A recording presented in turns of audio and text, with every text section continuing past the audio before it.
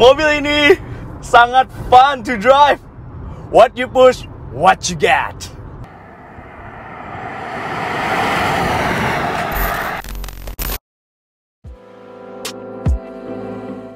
Annyeonghaseyo, welcome back to our YouTube channel CVT Cars Videos and Talk Shows. Baik lagi sama gue, Jason Andika Syarif. Dan yes, di sebelah gue sudah ada sebuah Hyundai Kona Electric Facelift. Di beberapa waktu lalu kita udah pernah membuatkan video review dari model pre-faceliftnya. Untuk link videonya kita cantumkan di atas. Dan juga Eja juga sudah pernah menjajal mobil ini di sirkuit Sentul ya. Bagi kalian yang belum nonton, link videonya juga kita cantumkan di atas. Bahkan kita juga sudah pernah membandingkan mobil ini, yaitu yang model pre-faceliftnya dengan uh, drive mobil-mobil dengan drivetrain lainnya. Misalkan dengan mobil hybrid dan juga dengan PHEV. Dan memang pada saat itu mobil ini belum menjadi opsi terbaik ya untuk mengurangi uh, polusi udara. Ya, tapi Hyundai Indonesia tidak membutuhkan waktu yang lama. Kurang dari satu tahun saja, Hyundai langsung meluncurkan versi faceliftnya.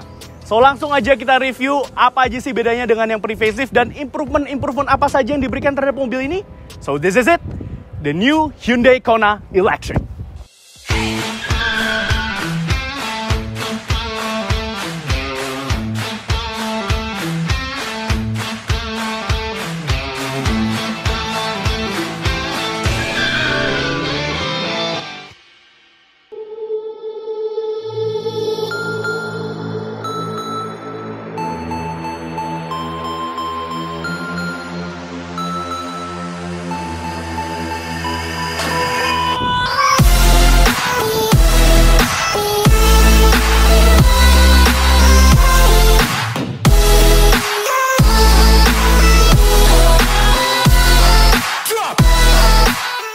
So langsung aja apa aja sih bedanya dengan yang model pre-facelift? Pertama-tama dari desain depannya. Ya, sekarang desain depannya ini berubah total ya kalau kita lihat di sini ya. Garis-garisnya tegas gitu ya, bagus, lebih minimalis ya, lebih cantik gitu ya, lebih seamless. Kalau yang pre-facelift kan dia kayak ada ala-ala grill gitu ya. Ya, ala-ala dan juga dia ada listnya. Ya memang seharusnya mobil listrik ya seperti ini, tidak perlu adanya ya guratan-guratan uh, grill gitu ya yang palsu sebenarnya. Nah, secara overall kita suka sih sama desain depan di facelift ini. Tapi ada satu hal yang menjadi catatan kami, yaitu uh, peletakan port chargernya. Ya, dia masih sama-sama diletakkan di sini, ya posisinya sama. Cuman memang ya cutting dari cup port chargernya itu agak sedikit kurang rapi ya. Karena memang dia cuttingnya pas banget, itu ada di garis sini ya jadi terlihat kurang rapi. Ini terbantu sih sebenarnya dengan warna hitam ini, tapi kalau dengan warna lain, apalagi putih ya, jadi terlihat kurang rapinya. Gitu. Itu aja sih menjadi catatan dari kami. Tapi secara overall ya, ini desainnya bagus banget. Terutama kalau kita lihat lampunya, sebenarnya sekilas itu peletakan lampu ini sama desainnya. Cuman kombinasinya di sini yang berbeda. Di sini sekarang dia sama-sama sudah menggunakan DRL LED ya. Dan sama juga lampu sennya juga diletakkan di sini juga jadi LED ketika kita memberikan sen itu LED panjang gitu ya sennya bagus banget cakep. Kalau yang kemarin kan masih halogen biasa ini udah LED kemudian juga di sini lampu utamanya headlampnya yang sebelumnya adalah uh, proyektor LED tapi sekarang jadi multi reflektor LED secara estetika memang lebih cantik ya lebih bagus. Tapi secara fungsi sebenarnya lebih baik yang LED proyektor Kemudian juga dia di sini udah dilengkapi dengan sensor yang banyak ya di tengah sini juga ada, sensor di sini juga ada gitu ya. Ada 4 sensor, 5 sensor total di depan sini dan juga ada radar, sistem radar di sini. Ya, ini nanti kita akan bahas lebih lanjut ya mengenai Hyundai Smart Sense. Oke, so itu aja dari depannya. Kita lanjut ke bagian sampingnya. Oke, lanjut ke samping. Perbedaan yang paling ketara adalah desain velgnya ya. Di sini masih menggunakan profil ring 17, uh, tetapi desainnya sekarang berbeda ya. Dia sekarang dual tone kekinian. Menurut kami sih desain velg yang sekarang lebih keren ya, lebih cakep, lebih minimalis gitu ya. Dan kemudian untuk profil bannya sendiri dia masih sama dengan yang model pre-facelift. Dia di 215 55 ring 17 dan dibalut dengan roda ban dari Nexon. Wih, ini dari Korea ya, ban Korea. Kemudian juga perbedaan yang kedua yaitu sekarang kalau kalian perhatikan itu tidak adanya aksen-aksen cladding hitam yang ada di fender sini gitu ya dan juga di belakang. Sekarang semuanya dicat warna body. Cladding hitamnya cuma disisakan di bawah sini nih, kecil sini. Ya, kalau yang sebelumnya kan cladding hitamnya sampai sini gitu ya. Jadi kalau bisa diibaratkan uh, Kona facelift ini seperti Honda HRV yang prestige. Jadi Kleding-kleding hitamnya itu disamarkan dicat warna body. Ya menurut kami sih dari samping sini desainnya sih lebih cakep ya, lebih minimalis. Sama seperti di bagian depannya tadi, desain depannya. Di sini dibuat lebih simple gitu ya, lebih seamless.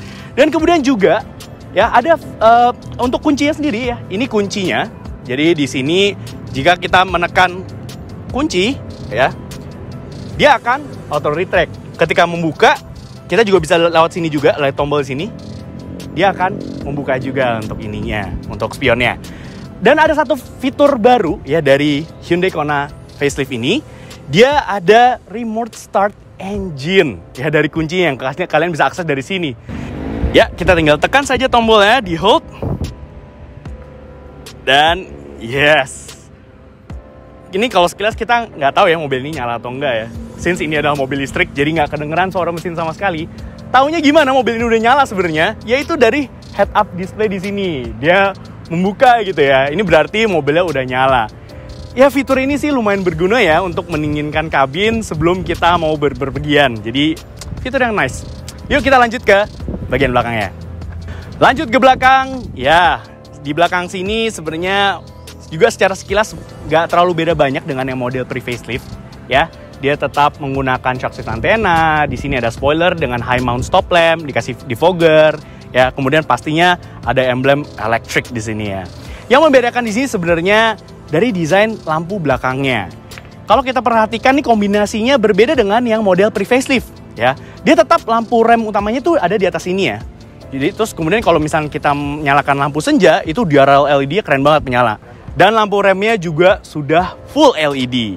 Nah, di sini yang paling membedakan yaitu untuk lampu sennya. Lampu sennya sekarang desainnya seperti ini ya, cakep garis-garis gitu. Dan dia sudah menggunakan LED. Untuk lampu mundurnya di mana? Lampu mundurnya ada di sebelah sini saja dan dia sayangnya masih menggunakan bohlam biasa. Yang karena yang di sebelah kanan sini ini adalah rear fog lamp gitu. Saya sini juga merupakan mobil elektrik, jadi tidak ada lagi yang namanya knalpot di belakang sini. Desain bumpernya juga berbeda ya. Di sini dibuat lebih minimalis. Dia cuma ada cladding under spoiler di sini saja. Sensornya juga lengkap dan juga sudah dilengkapi dengan parking camera. Yuk langsung aja kita bahas bagasinya. Kapasitas bagasinya masih belum berubah dari versi pre-facelift. Masih di 332 liter. Jika masih kurang, dapat ditingkatkan dengan melipat baris keduanya sehingga memiliki kapasitas 1114 liter. Oke, lanjut ke kabin baris kedua dari Hyundai Kona Electric Facelift. Nah, sebelum gue lanjut, pastikan kalian like video ini, subscribe ke YouTube channel kita Safety Indonesia, dan nyalakan lonceng notifikasi. Main-main juga ke Instagram kita at safety.indonesia. Udah? Terima kasih. Oke, langsung lanjut aja ya. Gue nggak mau terlalu bahas banyak di belakang sini karena masih uh, feel-nya duduk belakang sini tuh masih sama persis dengan yang model pre-facelift. Mulai dari ya legroomnya di sini ini tinggi gue sayangnya bukan 177 cm tinggi gue hanya 172 ya. Jadi ya masih ada sisa uh, legroom lah segini dan footroomnya ya agak terbatas.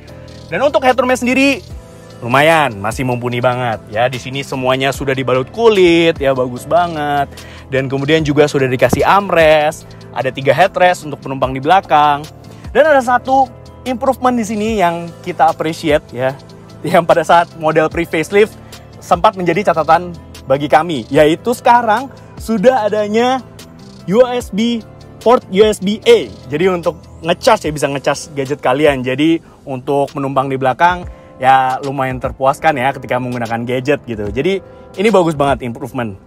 Oke, itu aja sih sisanya ya paling sayangnya di sini karena baterainya tersimpan di bawah sini. Jadi ya paha gua di sini agak kurang tersangga dengan baik. Oke, itu aja. Kita lanjut ke driver seat. Oke, lanjut ke driver seat dari mobil ini. Ya, di sini sama feel-nya ya, duduknya juga mantap, pengaturannya lengkap di sini ya. sudah bisa recline, maju mundur, dan ada lumbar supportnya di sini. Semuanya uh, kursinya juga untuk semuanya ini udah dibalut kulit semua dengan ventilated seats gitu ya. Jadi cakep banget.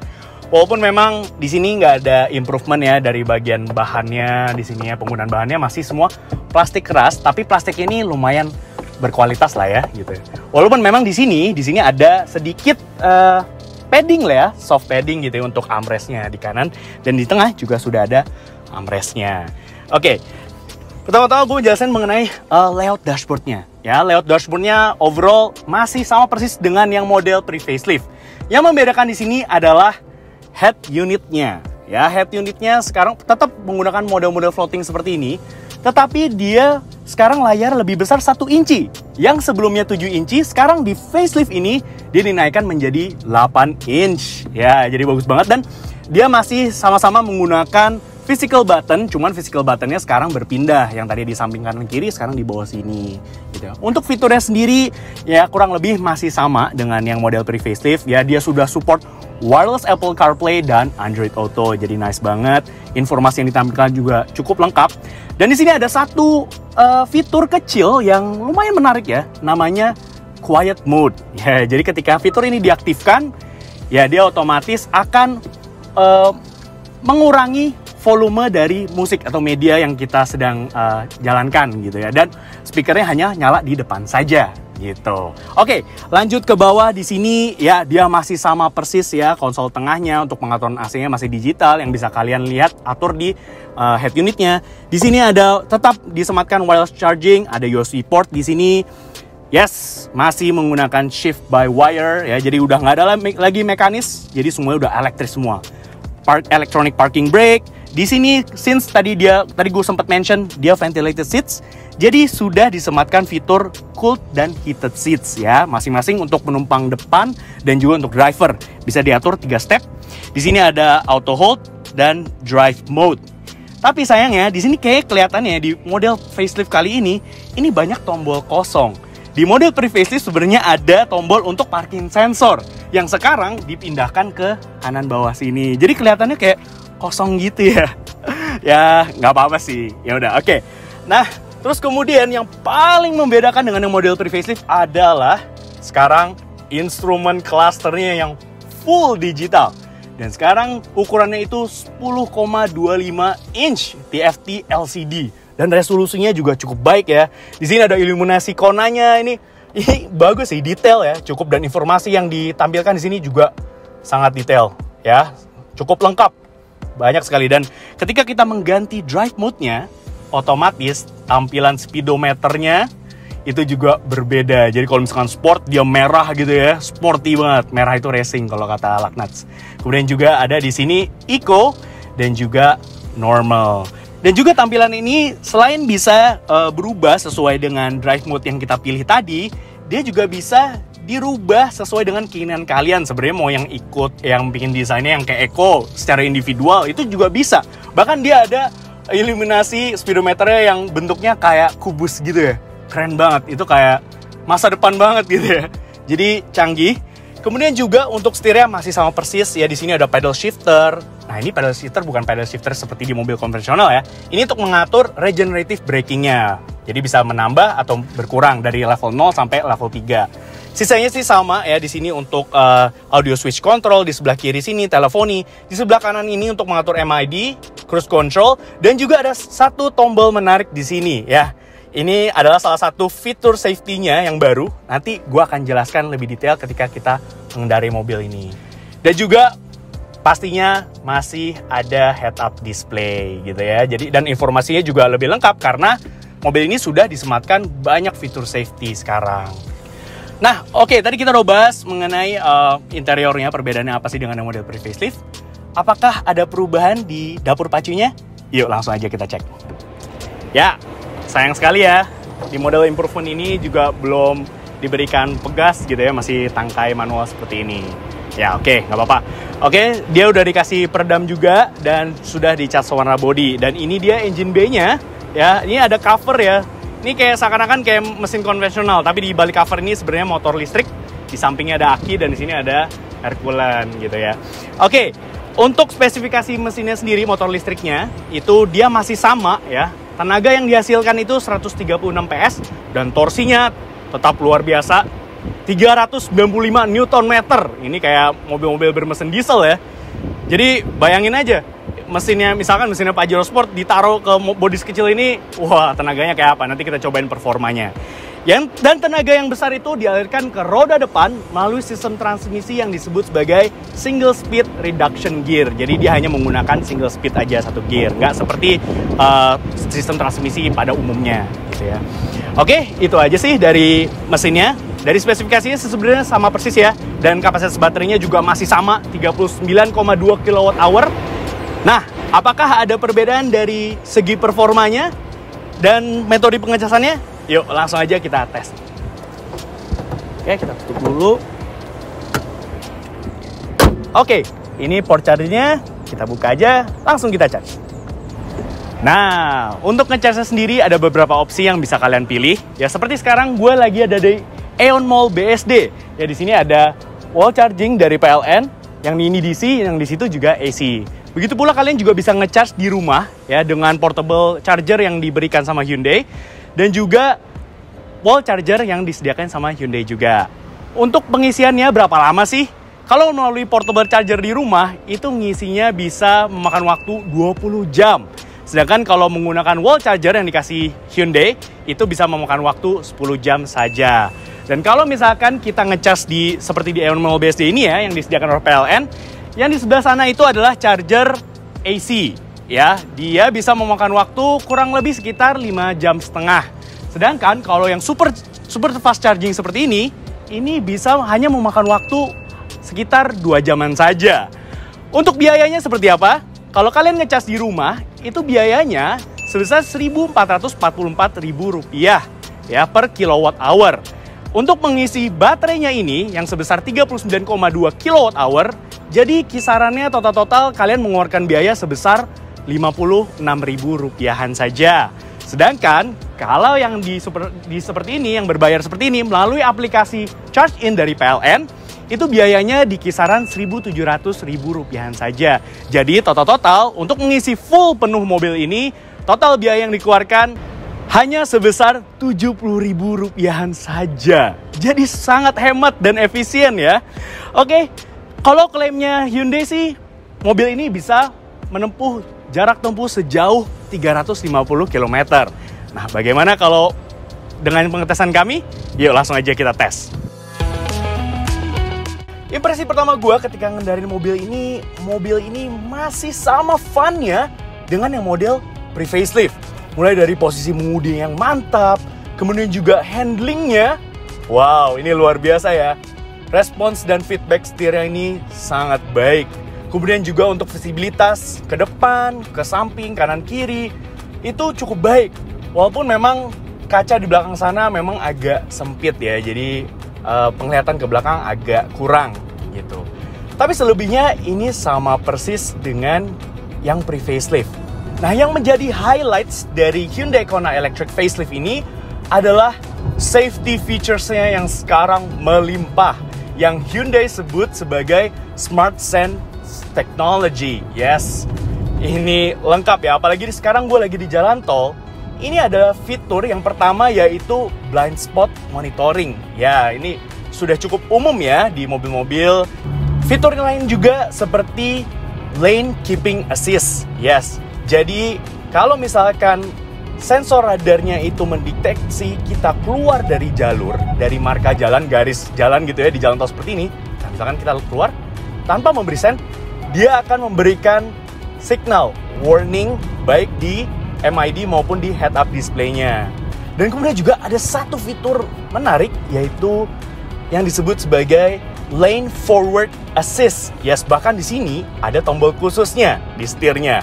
Jadi ketika kita mengaktifkan fitur ini ya dan sensor radarnya akan membaca arah marka jalan atau garis sehingga setirnya ini akan mengikuti arah dari marka jalan tersebut. Nah, ini misalkan gue lagi lepas tirnya seperti ini, dia akan mengikuti. Yes, dia akan mengikuti marka jalan. Jadi ini fitur yang sangat canggih sekali ya. Walaupun memang ini uh, gua kalian bisa lihat sendiri ya, ini setirnya bisa bergerak sendiri. Jadi ini kayak semi-semi autopilot, jadi canggih banget ya. Ya, tapi sayangnya uh, cruise controlnya di sini masih cruise control yang biasa. Jadi dia belum adaptive cruise control. Oh, padahal sistem radarnya udah lengkap, sensor-sensor udah lengkap semua gitu. Dan yang menjadi satu catatan lagi dari kami yaitu dari urusan kekedapan kabinnya. Ya, jadi kalau kita kecepatan menengah seperti ini ya di 60 km per jam atau lebih, itu kekedapan kabinnya uh, menurut kami masih kurang. Jadi masih sama seperti yang di Turi facelift. Tapi mungkin itu semua karena kami nitpicking. Karena sejatinya mobil ini tidak mengeluarkan suara mesin sama sekali, sehingga suara lain memang jadi terdengar. Bicara soal efisiensi, mobil ini mampu mencatatkan angka sebesar 8,1 km per kilowatt hour. Ya, jadi ini figur yang lebih hemat sedikit jika dibandingkan dengan yang model pre-facelift. Jika dikalikan dengan kapasitas baterainya di 39,2 kWh sama kapasitasnya dengan yang pre-facelift, itu dia bisa mencapai jarak hingga 317 km kurang lebih. Jadi sedikit lebih hemat dibandingkan dengan yang model pre-facelift. Jadi nice banget. Dan sekarang kita cobain gimana performa akselerasinya dari 0 sampai 100 km per jam ini mampu ditempuh dalam waktu berapa lama sih? Ya harusnya sih uh, kurang lebih sama ya dengan yang pre-facelift since dia memiliki torsi dan juga horsepower yang sama. So langsung aja kita cobain. Oke, kita matiin AC sekarang dan kita rubah ke sport mode. Oke? 3 2 1.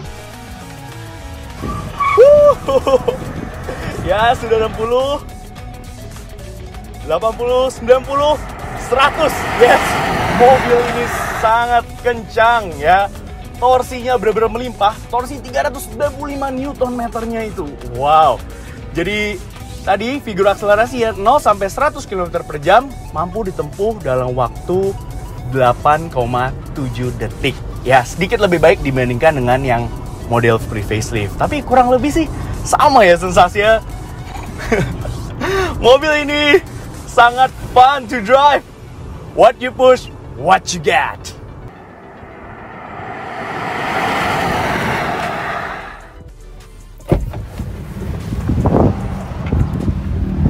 Oke, jadi bisa disimpulkan dari video review Hyundai Kona Electric Facelift ini, ya dengan segala improvement-improvement yang diberikan kepada mobil ini, fitur safety yang tadi lumayan lengkap ya, dan desain yang sekarang semakin cantik, membuat mobil ini semakin desirable untuk dibeli ya. Mengingat harganya juga yang masih di bawah 700 juta rupiah. Memang kalau mau bilang, wah itu mah masih belum terjangkau ya.